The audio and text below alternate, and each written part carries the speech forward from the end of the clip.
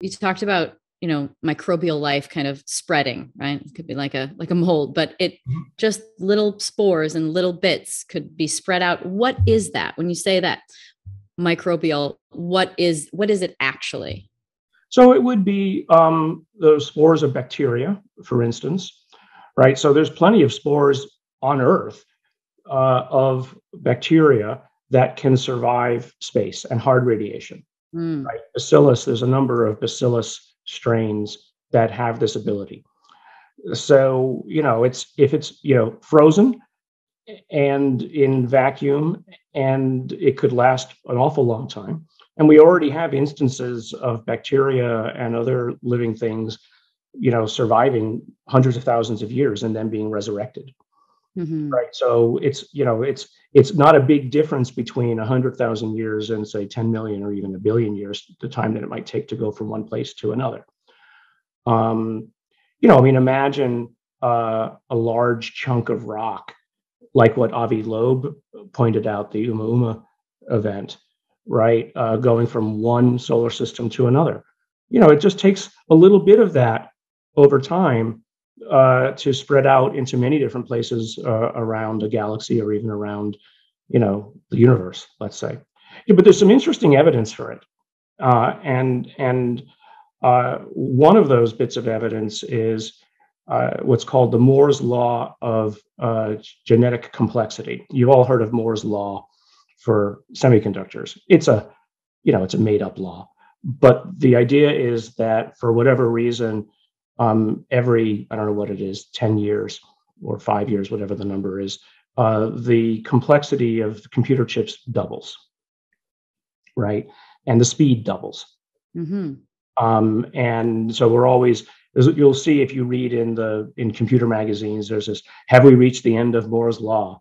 Mm. You know, and then somebody discovers quantum computers, right? Uh, and so then et cetera. So you know, it's it's more just an observation of what happens. So somebody thought to look at the complexity of DNA and the regulatory uh, regions of DNA that are in many ways like a computer, right? These are the areas upstream of the uh, regions of the genes that encode the proteins, mm-hmm. the things that mm-hmm. you know we are, and the enzymes that make us, et cetera. There are these regulatory regions, which, if you're a computer scientist, you would look at and you would think of as the as the actual code um, of ah. what's of what is of how a person is made. Um, okay, and now the complexity of that in let's say simple bacteria, it's it's it's extremely simple, right? They're they don't have the kind of regulatory phenomenon that that we have. Okay. Um, but if you think of bacteria as a ancient uh, example of what our great great great great grandparents might look like, right? And then you look and you go up the chain of um, evolution from bacteria to eukaryotes to multicellular things, et cetera, up the chain, and you call those and you call that evolution. Right. right? That's all we really have to see right now. Um, and then you look at, and then you basically say, well, bacteria evolved, I don't know, uh, two billion years ago, whatever the number is. These are the ones this. So you, you create that timeline, and then you give some measure of complexity. It turns out that the complexity uh, of when things actually started was about 10 billion years ago. Billion or million? Billion, billion, billion. billion. Okay, but how long has Earth been around?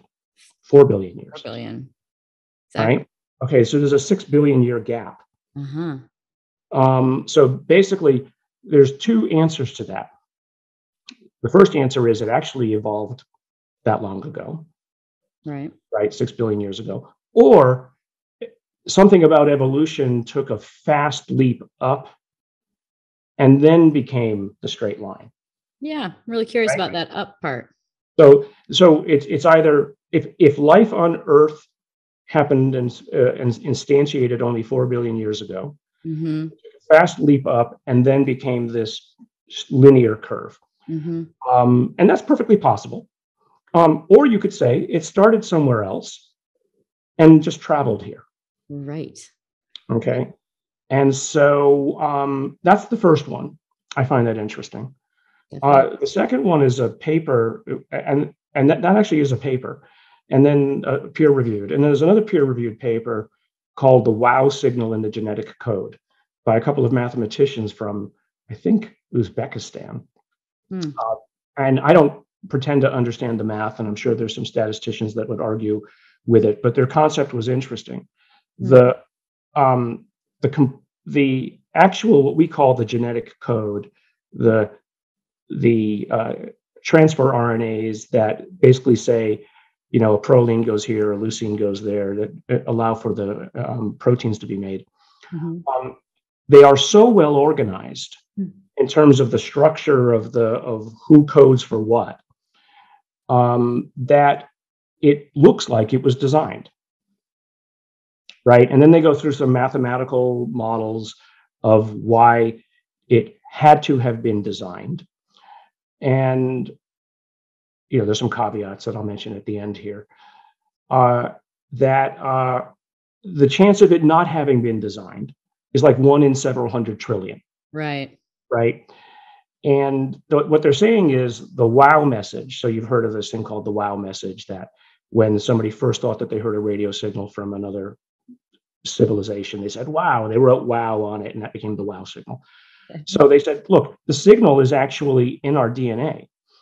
The fact that the that DNA was planned and organized is right there in front of us. That's the wow signal. Huh.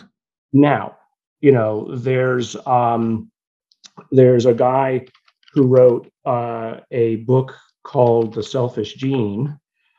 Uh, and um, his name is Richard Dawkins, a famous professor, genetics professor from England who basically says, look, that's rubbish, not this wow signal itself, but you know, the whole notion of divine intervention or planned genetics, the you know, the creationists, it's rubbish because there are other mathematical principles that you can throw at this that say that you don't need that you know and and i think this guy is fantastic right so his is a fantastic counter argument to the wow signal, but it isn't the disproof.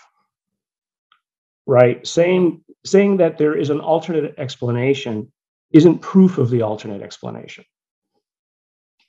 Right? It's like that's the it's so it's still in limbo, right, as to what it whether this wow signal is true or not. Even if it's not true, the fact that the DNA code is so organized in and of itself is beautiful. I mean, as a scientist, I, I, I appreciate the, the beauty of that, right? They, they, it's so well organized. And I mean, but we can look at any ecosystem and say it's so well organized, somebody must have invented it. No, no, you don't have to invent it. Richard Dawkins shows how things can evolve. So, what about? I mean, this makes me start thinking about fractals and energy and patterns and recurring patterns in nature and i mean do you w- what about that what about just patterns of energy showing up on a micro and a macro level mm-hmm. what about that well i mean yeah so the universe is organized with a pattern right if you look right down at the laws that we think are running the universe all of these particles with features and capabilities uh, and how they will interact um, that allow for us. Basically, it says that embedded in the structure of the universe is the capability to produce us. Now, the question, the open question is did somebody create the universe so that something like us could occur? Mm-hmm. Right? Or is it just chance and we're lucky? Mm-hmm. Right? right? So there's this concept in the multiverse ideas of that the in other universes the laws of physics might be different right that if you take the various what we call constants of physics planck constant et cetera as all these mm-hmm. you know various numbers and you change them only slightly uh, any one of them only slightly suddenly you don't have a universe like ours that could even have protons sure. right that it would basically you you wouldn't get anything. It would just remain a big mist. Mm-hmm. could ever coalesce into anything. So there's this notion of what's called the anthropic, I think it's called the anthropic principle, that we only think of ourselves as the only universe that is because the laws are such that we can see ourselves. Right. But in the other universes, no one could become. And if you were to go there, you would basically just explode. you know, you would just dissipate into nothing. Right. Right. right. So so embedded in the laws of the universe are the rules that allow for evolution. Mm-hmm. Right. It doesn't mean that they were the universe was created for that. It's just that retrospectively, it is that. There's a science fiction book that I always remember a story um, about this thing that evolved in an ocean on another planet, and it and the and the, it began with it could not remember, but could deduce its origins. Right. So we can't remember our origins, but we can deduce them. Sure we can deduce the kinds of things that must have happened. Mm-hmm. And then we can even go beyond that now, as I'm saying about the structure of the universe, to say that the structure of the universe allows for atoms, it allows for molecules. Those molecules can come together, and if they can reproduce, they will. That's the essence of the selfish gene from Richard Dawkins is that if given resources and you can reproduce, you will find a way to reproduce. Mm-hmm, mm-hmm. Right. So you don't need to imagine a God right that created you. Right. But you know it's it and and he goes through a lot of very good arguments about it. But but so that's the kind of way that i i think of it that it says that if we came from a panspermic event i'm not sure that's a word but just made it up uh, then that means that there are other potentially seeded planets elsewhere must. that also could have right. you know created civilizations. Now and then if you go as far as saying that um, there are other universes exactly. which have let's say different timelines once you propose that another universe can happen and it might have a different timeline than ours mm-hmm. it, i mean it, it the time there's no such thing as, as a common timeline at that point. You're independent you can come from any point in another universe's timeline. And if you are sufficiently advanced, you might have learned ways to jump between universes.